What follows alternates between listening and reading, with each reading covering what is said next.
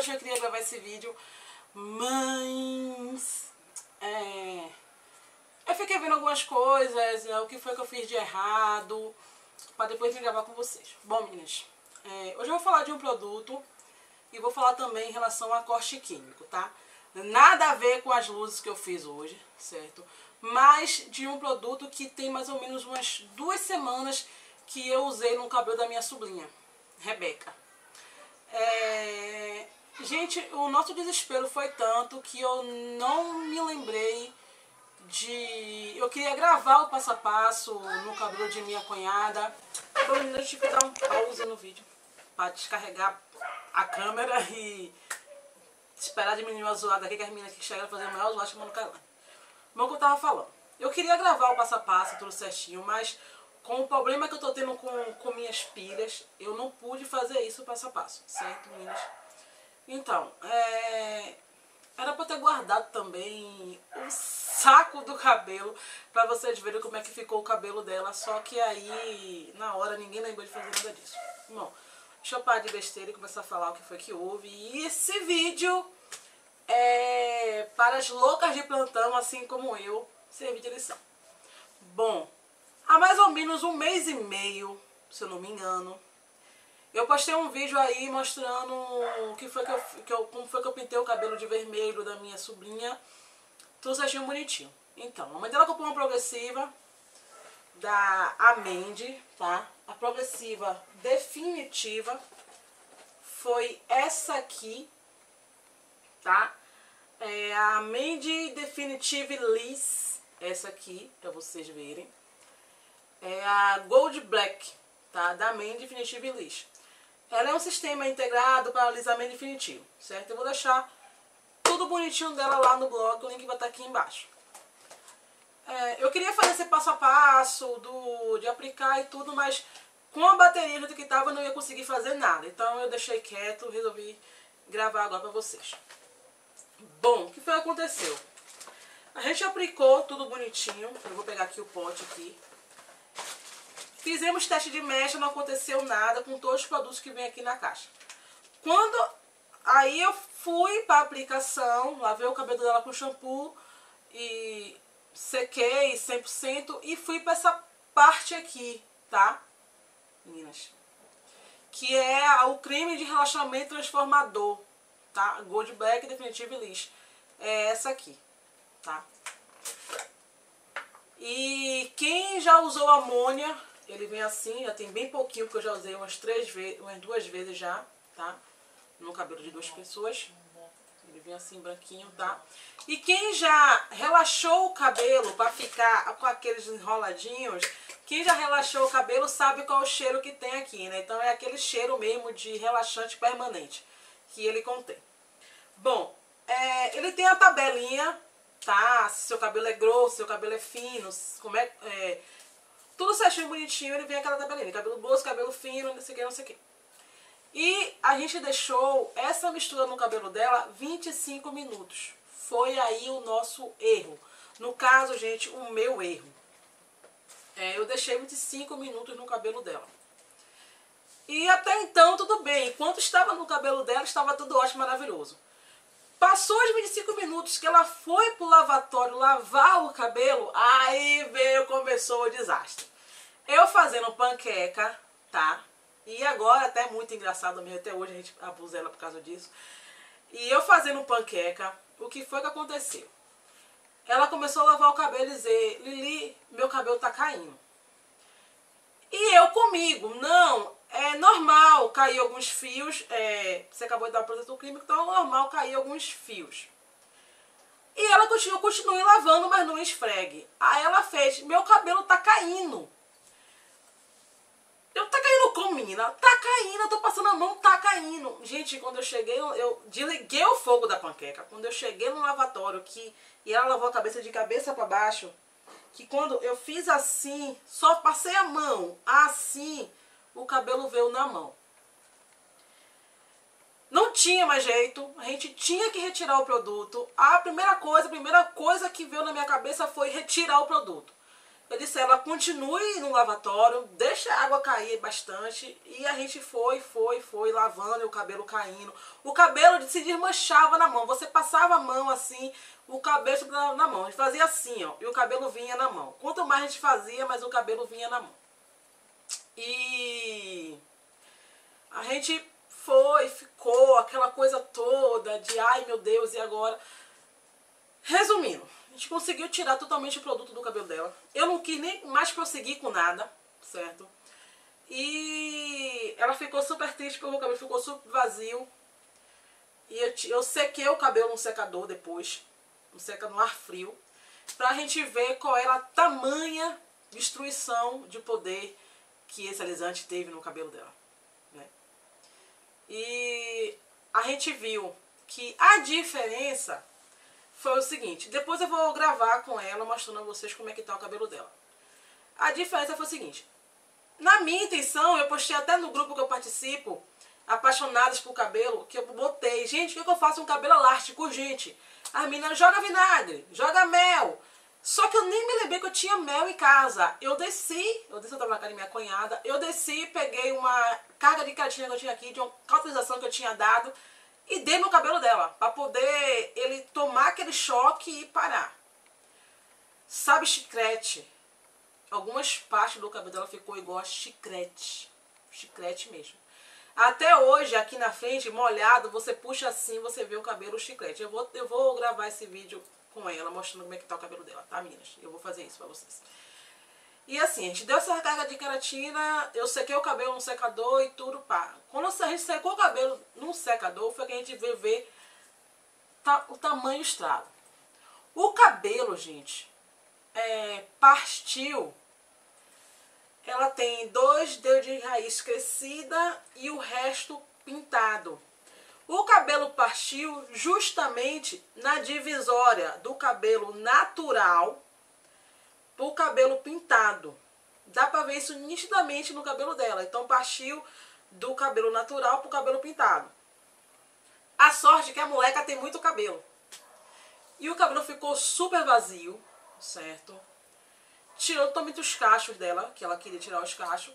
Mas a consequência foi o cabelo estar super elástico, não pode escovar, não pode pranchar por, pela elasticidade que está o cabelo.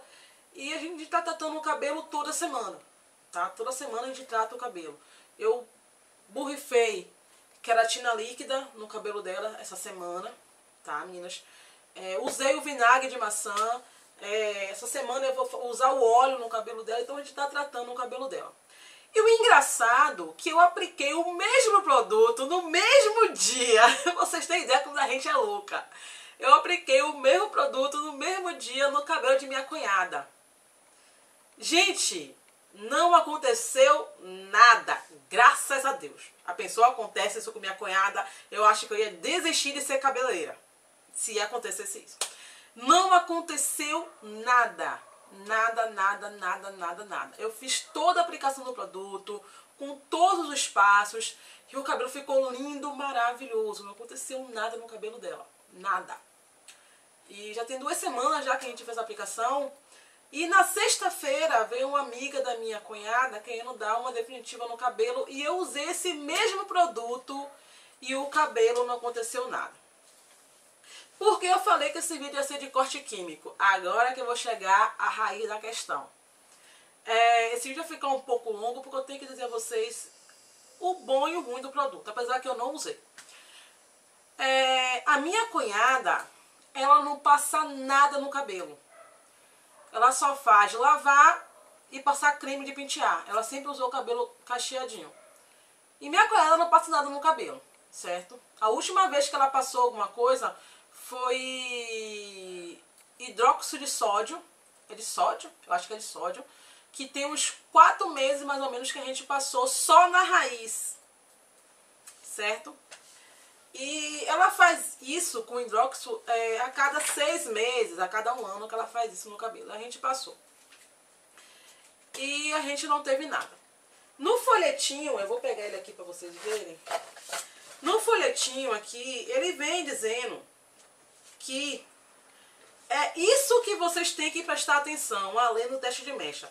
Em todos os três cabelos eu fiz teste de mecha e o teste de mecha não me acusou nada. Eu fiz o teste de mecha aqui assim, no meio, e fiz na nuca. E o teste de mecha não me acusou nada, nos três cabelos.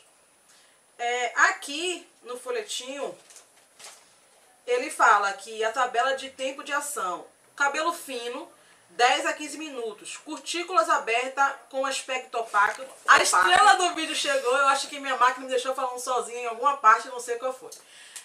A tragédia, gente, foi no cabelo dela. Deixa eu tirar aqui a Tira aí. porque eu não consigo mais andar assim essa presilha. Ela só andava com o cabelo preso. Né? O que eu tava falando a vocês. Aqui na frente, quando ela molha, o cabelo fica. Olha, o cabelo está super elástico. Assim, do jeito que tá com creme, a gente não consegue ver que tá elástico. Mas o cabelo aqui tá super elástico. E o cabelo da moleca ficou vazio. Bastante vazio. Chega mais pra cá, amor. Pronto. ficou bastante vazio. Eu não sei se vai dar pra ver. Deixa eu pegar uma parte aqui onde partiu. Aqui, ó. Peraí, gente. Você sabe mais do que eu. Deixa eu partir aqui, cadê? Deixa eu partir aqui. A estrela do vídeo. Aqui, tá Aqui. Pronto. Aqui, gente, isso aqui foi o que eu falei, ó. O cabelo partiu da divisória entre a, tintura e o cabelo natural, né? Então, várias partes ele partiu assim. Principalmente a parte aqui do meio e um pouco do fundo. Foi o que mais partiu. E o desespero foi de estar lavando o cabelo e o cabelo está caindo. Nem conta. Meu Deus, eu, eu lavava a cabeça e eu li e o cabelo tá, Tá caindo. caindo, Lili, o cabelo tá, tá caindo. E, gente, caiu um cabelo da minha cabeça. Pra vocês que estão sem cabelo A gente ano. esqueceu de, de, de- guardar o cabelo. Uma pedaço não apaga. Esqueceu de guardar o cabelo pra mostrar a vocês como é o cabelo tava dentro do saco. Mas foi um saco de cabelo. Um saco de cabelo. Essa moleca tem uma juba. A sorte é que ela tem juba. Porque se ela não tivesse juba, ela tava careca. É, tava careca mesmo. Tanto de cabelo que caiu. Gente, Mas foi agora- terrível. Eu chorei demais, mas enfim. A menina ficou triste. Agora é cômico, mas a menina ficou uma semana depois por causa do cabelo. Ela queria até cortar o cabelo, né? Mas, Né? mas a gente não quer deixar, não. Gente, Sim. Ela teve esse resultado, já amiga da mãe dela. E a mãe dela, surpreendente. Não aconteceu nada no cabelo. Mas também porque meu cabelo tava danificado e a gente não se atentou muito ao tempo, porque a gente leu o regulamento do negócio e tava dizendo 25 minutos, mas a questão Foi é, o que eu acabei de dizer aqui. Cabelo grossos e finos de, 25, de 20 a 25 minutos. por isso, a gente botou e meu cabelo já, já tinha tintura, já tinha progressiva, já tinha selante, já tinha tanta coisa e por isso. Aí nelas, elas botou isso na cabeça que o dela ia cair também e Deixamos 10 minutos. 10 minutos do processo. O processo consiste assim. Você lava o cabelo. Cadê o pote? Você lava o cabelo. E depois do cabelo lavado, vocês vêm, Seca o cabelo. seca o cabelo e aplica essa máscara que eu falei a vocês que ela tem um cheiro de relaxante para quem já usou esse permanente. Você aplica ela em todo o cabelo com auxílio do pente fino e deixa 10 minutos. 10, viu, gente? Pelo 10, amor de não é Deus. 25, Pelo é amor de 10, Deus, viu? Pelo amor de Deus, não quero processo. Deixa 10 minutos, retira todo o produto com o cabelo sem esfregar o cabelo, tá? Escova, prancha. Quando o cabelo esfriar, você vem com o segundo passo, que é essa emulsão fixadora. Tá? A gente nem esperou o segundo passo. A gente nem fez, nem fez. Eu fiz na sua mãe e na colega dela, né? mas o outro nem fez. E passa essa aqui, tá? É tipo um um, gelzinho, Um tipo spray, um um, um neutralizante, tá? E passa esse. Deixa mais bem. 10 minutos, enxaga o cabelo, tira totalmente o excesso e vem com o último passo, que é essa máscara inte... inte... Olha aí! filha. Máscara intensificadora do efeito liso, Pronto. que é o último passo. Último passo. Você passa e deixa 10 minutos. Tá? Tudo 10 em 10. 10 minutos. Tá? E enxágua abundantemente e escova e prancha. Esse é o processo definitiva. Só que Observação, depois que escovar e pranchar, não pode prender nem deixar em touca, porque senão marca e seu cabelo vai ficar definitivamente marcado. você tem que ficar com o cabelo solto durante dois dias, só lavar depois de dois dias. Meninas não que não pode fazer touca, não pode prender com xuxa, nada. Tem que ficar com o cabelo solto. Pra a mãe dela é gaiata, foi e fez a touca. Ainda bem que não marcou o cabelo. né? Pra vocês meninas que gostam de dormir de cabelo preso como eu, não pode. Não pode. E assim, eu recomendo, recomendo. Ele é maravilhoso pra quem quer tirar os cachos. Ela tá totalmente sem cacho nenhum. Meu cabelo tá molhado, gente, acredita. Tá molhado. Tá molhado, molhado. E sem cacho. Sem cacho nenhum. A mãe dela totalmente tirou os cachos. Então, ele alisa, alisa muito, muito mesmo. Ali, por que você não passou no seu? Porque eu tenho de cair. Não é esse não.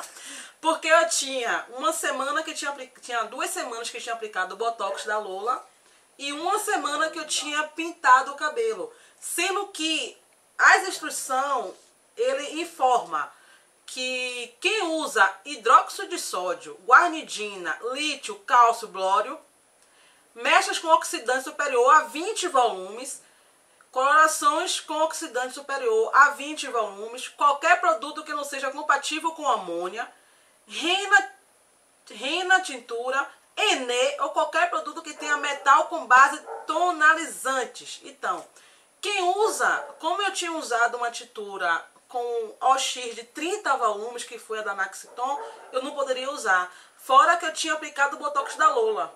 Tinha duas semanas que eu tinha aplicado o Botox da Lola e uma semana que eu tinha pintado o cabelo. Então, assim que eu falei até o que que eu vou até aplicar, não era isso? Aí vou aplicar, vou e tudo. Então, como eu fiz minhas luzes hoje, eu não posso aplicar isso aqui de jeito nenhum, porque eu usei Outra oxigenada de 30 volumes, né? Então, para eu aplicar isso aqui, eu tenho que esperar um tempo a poder aplicar. Qual é o tempo que eu recomendo você usar isso aqui? Esperar uns 3, 4 meses. Cuidar do cabelo bastante, certo? Caudalização, queratina, tudo pra dentro do cabelo. É, é, é aquele três passinhos do nosso cronograma. Reconstruir, hidratar e nutrir, tá? Para poder usar esse produto. E ele é ideal para ser usado de, de seis em seis meses, certo? De seis em seis meses. E ele é uma definitiva, ele não é essas progressivas que você compra e daqui a um mês você usa novamente, não. Ele é definitivo, você De usa ele seis. em seis em seis. Só pra poder retocar. E se você for dar luz no cabelo, passar ele, dar luz no cabelo, você tem que tratar o cabelo. É o que eu tô fazendo no cabelo da mãe dela. Tratando o cabelo antes de dar umas luzes, certo? Que a mãe dela quer também ficar pratinada. E assim, cautela, gente, cautela. Esse vídeo é mais por um alerta para as meninas que ficam perguntando: Ah, Lili, eu acabei de sair de Enê, eu posso usar tal coisa. Ah, Lili, eu dei, eu dei uma química no cabelo, eu posso usar outra. Gente, é muita informação para um cabelo só. É, às vezes vocês isso comigo, eu fazer as minhas loucuras, né? Mas eu sei o limite que meu cabelo chega, como hoje mesmo na descoloração. Eu não fiquei a descolorir pé de 40 minutos. Eu não fiquei nem 30 minutos, eu fiquei 25 minutos contado. Porque eu botei o papel alumínio, o cabelo começou a esquentar demais, eu tirei o papel alumínio e eu vi que minhas pontas onde tinha enê, elas derreteram. Derreteram mesmo. E pra isso, eu não quis esperar, não vou esperar 30, Meu cabelo 40 derretou, né? minutos pro cabelo. E o, e o bom é que o cabelo clareou bastante. Como eu não quero ficar pratinada assim de vez, foi até melhor. Certo? Então, muito cuidado, menino. Tenha paciência no que vocês querem usar. Não misture muita química. Não dê muita informação no cabelo. Por favor. Quem usa Enê, ah, eu uso Enê porque não sei quem usou progressivo, eu vou usar também. Não sei quem usou algum Botox, eu vou usar também. Não sei quem usou, deu certo. Vá no seu, não deu certo. Seja um exemplo. No cabelo dela não deu certo. E a gente fez teste de mecha e não deu. Não deu certo. No da mãe dela e na colega dela, deu certo, tá? Então é isso aí. Espero que tenham gostado de um vídeo, tá? Qualquer informação em relação a esse produto, você pode perguntar que eu faço outro vídeo explicando. Certo, meninas? Beijinho, beijinho. Fico com Deus. Bye, bye. Se inscreve no canal. Dá um like, tá? Que ajuda bastante. Que ajuda bastante. Com certeza. Né? Mas pode também negativar também, porque eu fico agoniada quando eu vejo não ter negativo, eu fiz alguma coisa de errado. Mas não negativo muito não, tá, gente? Quem não me conhece, eu sou a Lili Bonita, do blog Lili Bonita e tudo um pouco mais, tá? Beijinho, beijinho. Fico com Deus até o próximo vídeo. Vai, vai, que eu fui.